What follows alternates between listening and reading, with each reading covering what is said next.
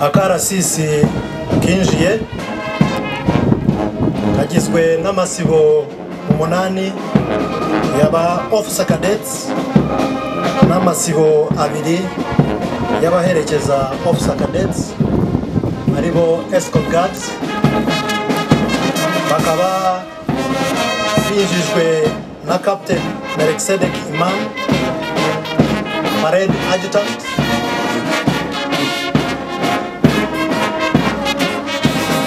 Itsinda rya muzika riyobowe na captain moses nyaruhanga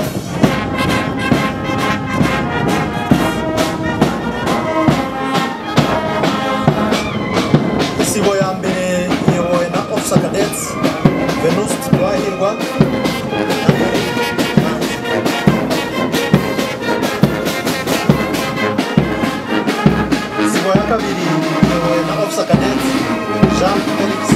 Chimé, dans Jonas Chimima.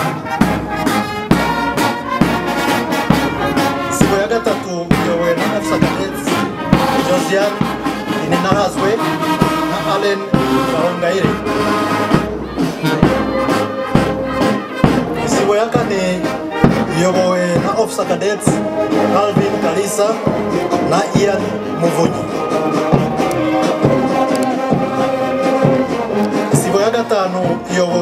Officer cadets remius bisangwa na christian manzi isibo ya gatandatu iyobowe na officer cadets james kasoro na steven mutangana isibo ya karindwi iyobowe na officer cadets remy shimirwa na petra Zenyumba. isibo ya munani iyobowe na officer cadets vivad hamicaniye na patrick ishimwe. Isibo ya cyenda iyobowe na officer cadets anselm gakuba na sam shyaka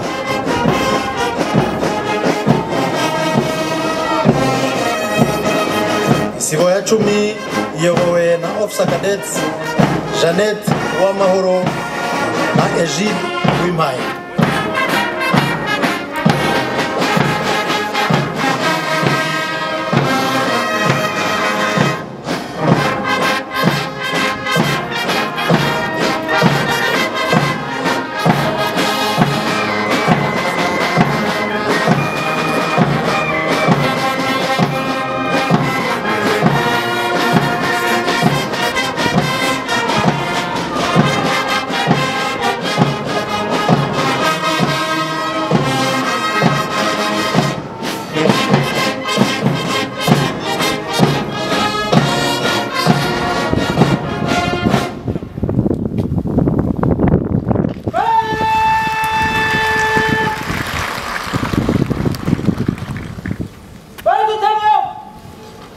ni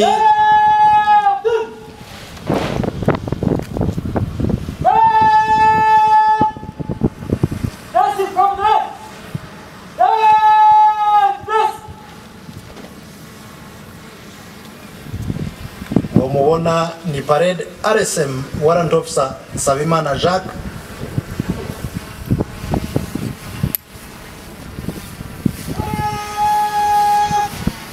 gushyira parade ku murongo neza kugira ngo parade komanda ajye mu mwanya wamuteguriwe.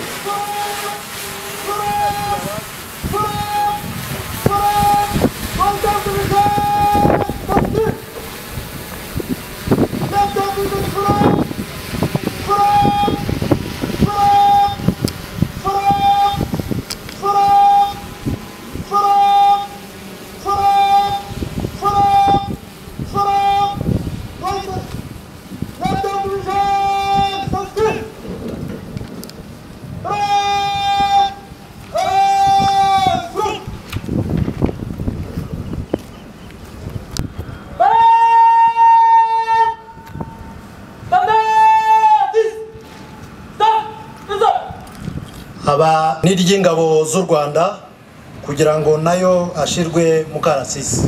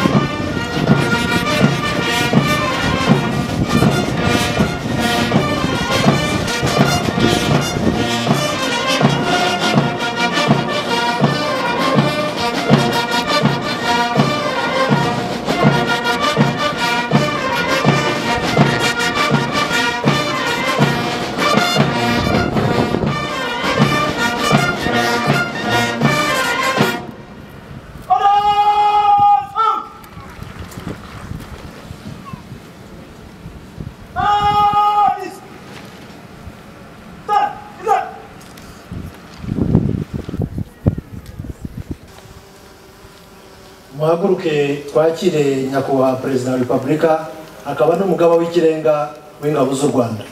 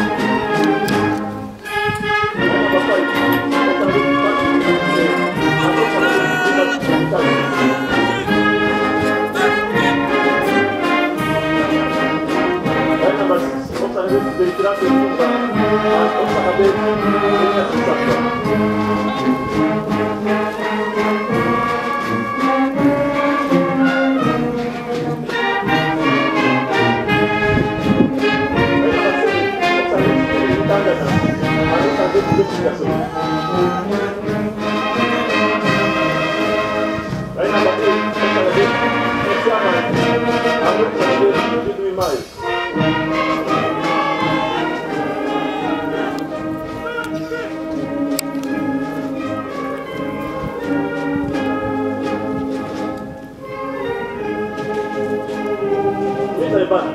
Master, Captain Moses Nyawanga.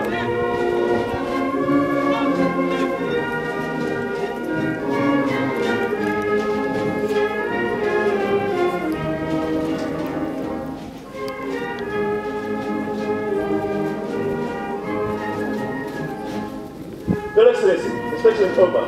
May I have permission to march past parade, Your Excellency?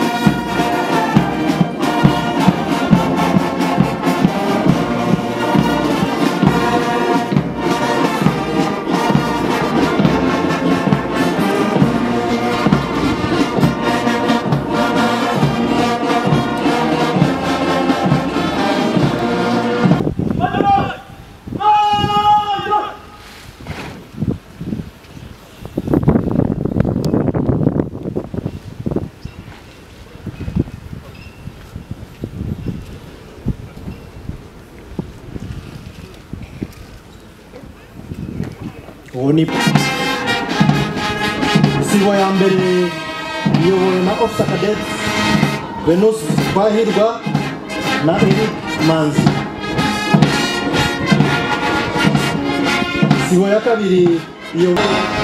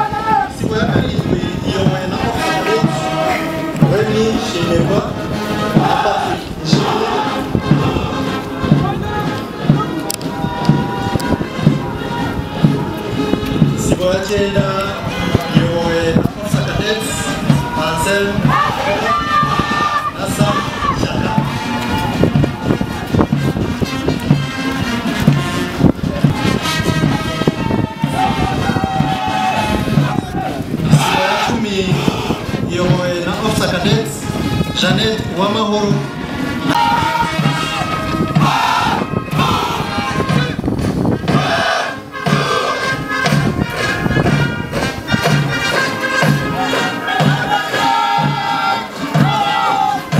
Parade Adjutant ni Captain Melkisedek Iman. Parade RSM ni Warrant Officer 1 Salimana Jacques.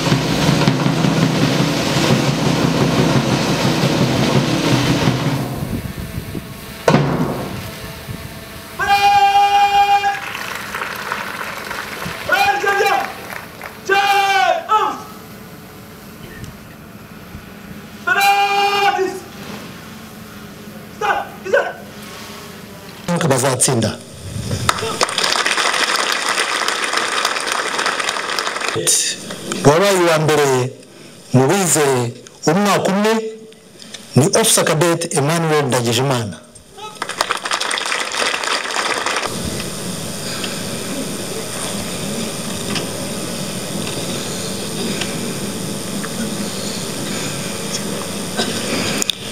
Ofisa kadete wahize abandi muri byose overall best cadet.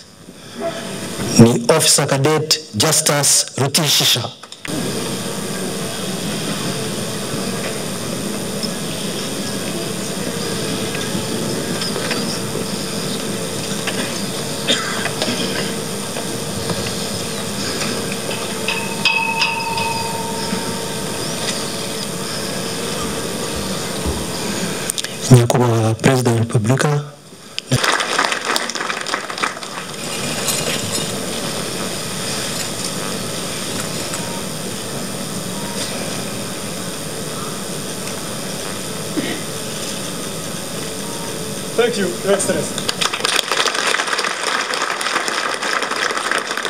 Ofisa Cadet wabaye uwa mbere mu bize umwaka umwe ni ofisa Cadet emmanuel ndagijimana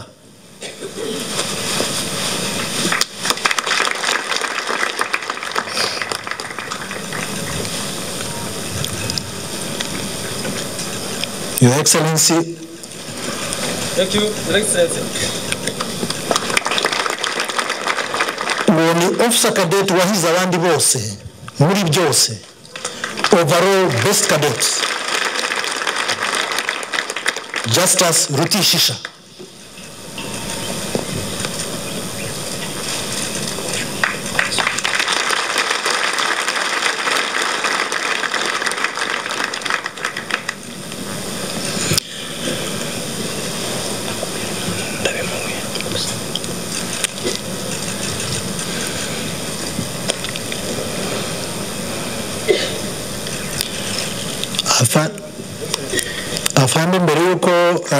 musubira mu byicaro byanyu hagiye gukurikiraho gahunda yo gutanga impeta ah, kuri abo banyeshuri basoje amasomo.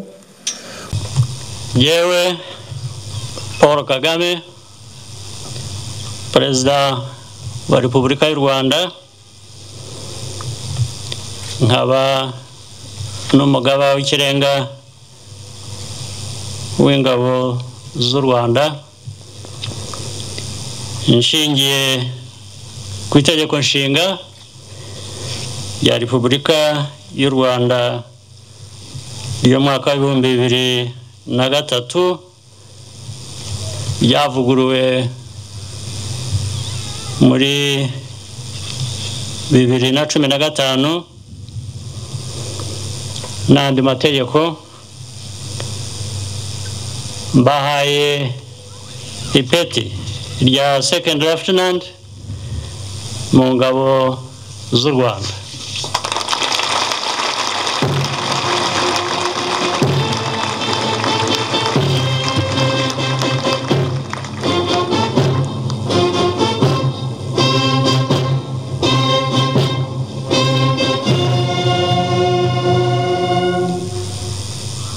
murakoze nyakubahwa perezida wa repubulika. Mwasubira mu byicaro byanyu.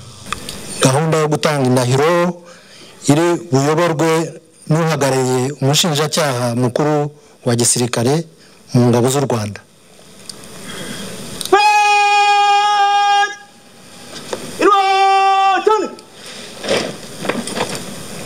You know, commission officers,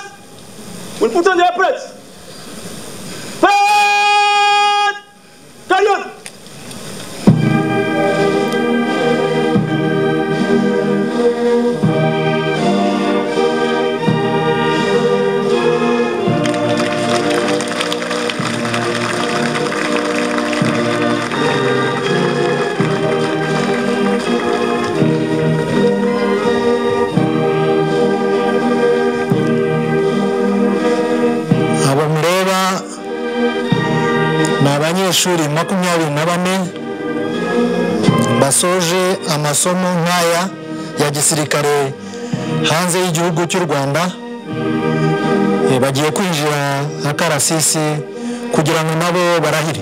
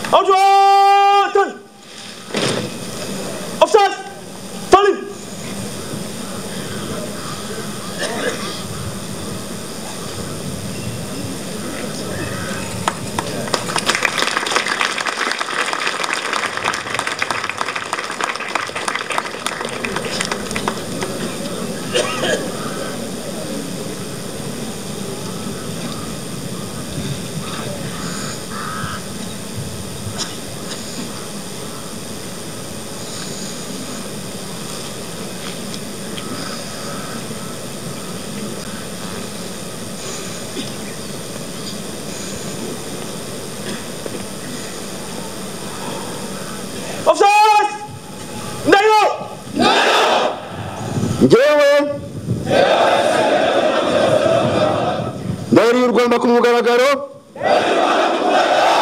ko ntazahemukira repubulika y'u rwanda.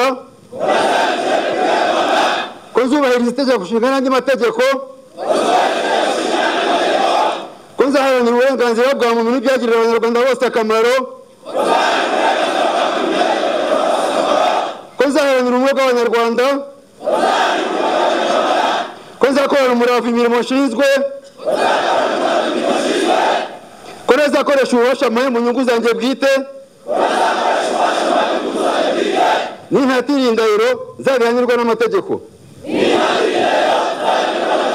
Imana ibifashemo.